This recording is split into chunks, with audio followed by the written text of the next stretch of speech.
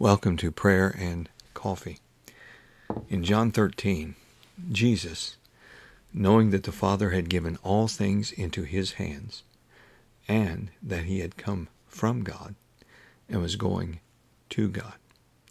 Jesus knew who he was and where he came from and where he was going, and he knew his assignment. Jesus wants to help you to know who you are and what he has graced and gifted you for. Ephesians 2:10 We are his workmanship created in Christ Jesus for good works which God prepared beforehand that we should walk in them. If you try to define yourself, you miss God. If you let someone else define you, you're in danger. When you understand that Jesus knows you better than you know yourself, that he uh, is the only one who really knows you, then you can seek after him with fierceness and determination.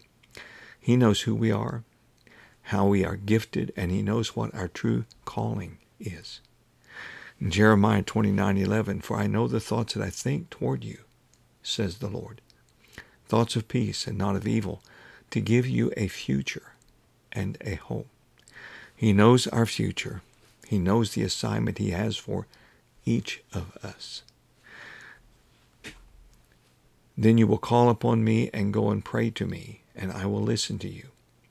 And you will seek me and find me when you search for me with all your heart. Let's pray. Father, you are holy. You are pure light, and you shine into our darkness.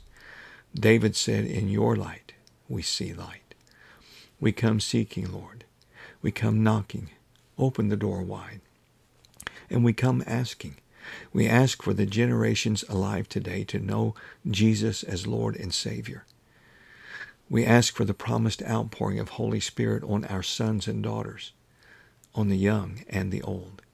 We ask you would fill those who have been seeking you with the spirit of wisdom and revelation and the knowledge of Jesus Christ. We ask that you would open our eyes to see what you are doing right now, Lord and what you are about to do. We pray in your mighty name, Jesus. Amen.